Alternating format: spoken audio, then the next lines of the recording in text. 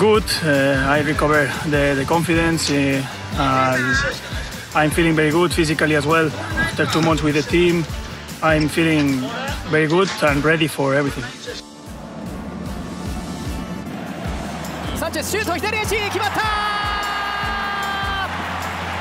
Well, I will try to do my best helping the team. Of course, as a striker, I want to score goals to help uh, even more the team.